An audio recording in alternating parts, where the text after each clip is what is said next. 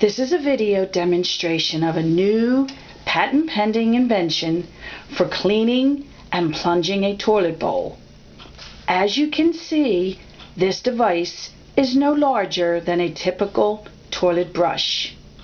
The inspiration for this invention is the fact that our 1.6 gallon toilets tend to get clogged very easily. Instead of going for the old dirty, unappealing plunger of the past, we will very easily demonstrate the functions of this new product. Before we begin, we would like to show the parts of this new invention. Knob, push rod,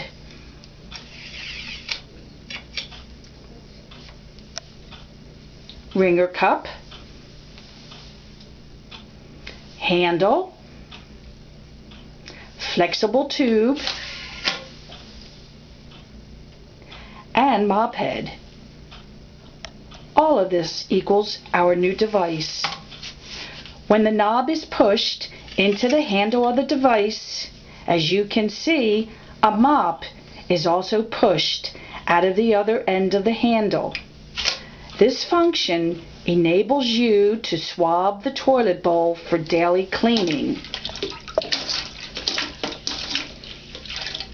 When the knob is pulled back out of the handle, the mop head is squeezed into the wringer cup, thereby wringing the water out of the mop head.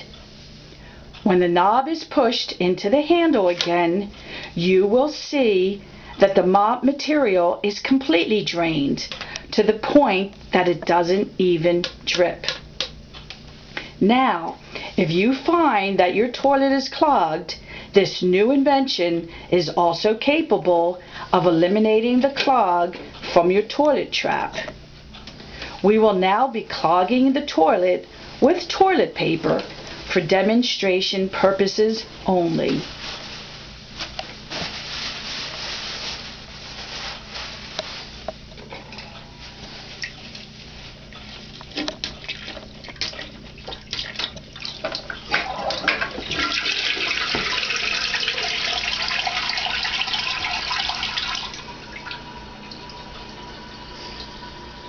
In order to demonstrate this function, the knob will now be turned counterclockwise while simultaneously pulling the knob out of the handle, which disconnects the push rod from the wringer cup end.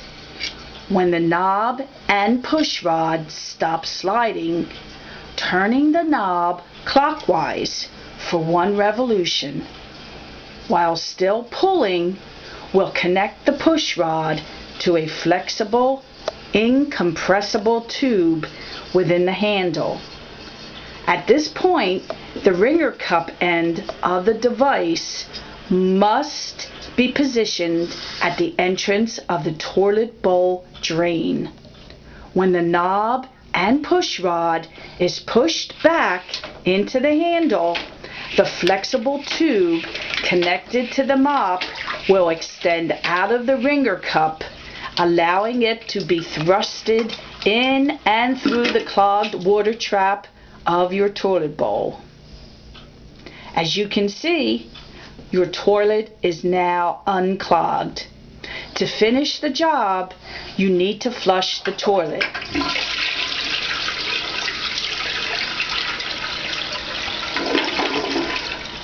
May be necessary to clean the mop head of any soiling that may occur by swishing it around clean toilet water and pulling it in and out of the wringer cup several times. As you have just seen, this device is not only easy to use, but also very effective. To end the demonstration, we now want to show you how to convert the device back into the toilet bowl cleaner configuration by turning the knob counterclockwise as well as pushing slightly in on the push rod. This disconnect allows the shaft of the push rod to slide back into the handle until it stops.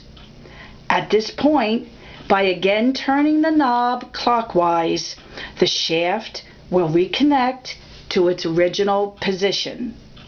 Now place the device into a storage caddy for toilet side storage.